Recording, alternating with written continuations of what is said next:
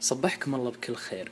اليوم إن شاء الله بتكلم لكم عن أمراض النوم. بما أن أغلبكم نايم أو بعضكم توه يصحى من النوم. بحاول إن شاء الله ألخص لكم sleep apnea بطريقة مفهومة وسلسة. وبالختام راح أحط لكم snap الدكتور العزيز مشني السعيد. ال apnea أو انقطاع النفس أثناء النوم تحدث لسببين. يا إما بسبب ال central nervous system أو بسبب ال obstruction فبالتالي قسموا sleep apnea إلى ثلاثة أقسام central sleep apnea obstructive sleep apnea و mixed sleep apnea اللي تكون mix بين ال central وال obstructive أيا كان السبب سواء كان obstructive أو سنترال أو mix النتيجة واحدة. النتيجة أن الإنسان بيقعد من النوم مخنوق. وهذا بسبب انقطاع النفس راح يقلل نسبة الأكسجين بالدم اللي رايح للدماغ. فبالتالي الدماغ يرسل إشعارات يقول للإنسان اصحى.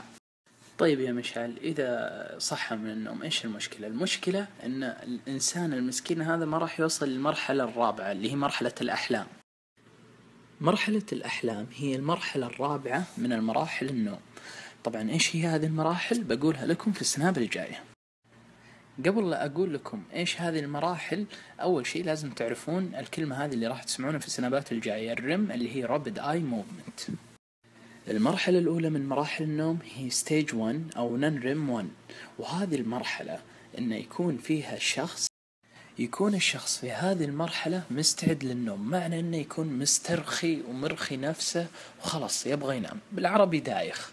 وفي هذه المرحلة لسه الشخص يكون صاحي يعني يفتح عيونه بين كل فترة وفترة إلى أن يدخل في المرحلة الثانية اللي هي مرحلة النوم. في المرحلة الثانية أو المعروفة باسم stage 2 أو non-REM 2 هنا المريض يبدأ في النوم يعني يكون المريض نايم. المرحلة الثالثة اللي هي stage 3 أو non-REM 3 هي مرحلة النوم العميق أو المعروفة بال deep sleep المرحلة الثالثة اللي هي النوم العميق احتمال أن الشخص ما يتهنى فيها إذا كان عنده سنترال أو obstructive sleep apnea لأنه راح يصحى. فبالتالي إذا صحى من المرحلة الثالثة فمعناه أنه ما راح يوصل إلى مرحلة الأحلام اللي هي stage four المعروفة باسم ال REM. طيب يا مشهل هل في أضرار أخرى غير أن المريض ما يوصل إلى مرحلة الأحلام؟ إيه في أضرار أخرى على المدى البعيد. الأضرار الأخرى باختصار أنه ممكن يكون عندك ارتفاع في ضغط الدم وأيضا زيادة في حجم القلب اللي ممكن تسبب لك congestive heart failure. طيب الحين كيف يتم تشخيصه؟ يتم تشخيصه عن طريق سليب ستادي أو المعروف باسم البوليسومنوغرافي. للمعلومية مختبر النوم يكون تصميمه مشابه لغرف النوم العادية فبالتالي الشخص ما راح يحس إنه في مستشفى. يتم تركيب الحساسات أو ال sensors على هذا الشخص وبالتالي راح يقولون له رح نم راح يكون في شخص في غرفة بعيدة عنك يراقبك بدون لا تدري.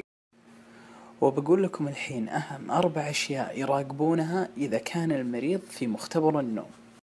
أول واحد ال nasal airflow والثاني ال chest movement والثالث ال saturation والرابع اللي هو ال electroencephalography ال EEG فبالتالي الأخصائي بيراقب إذا كان عندك chest movement بس ما كان عندك nasal airflow فمعناه هذا obstructive sleep apnea. أما إذا ما كان عندك لا chest movement ولا nasal airflow فمعناها هذه central sleep apnea.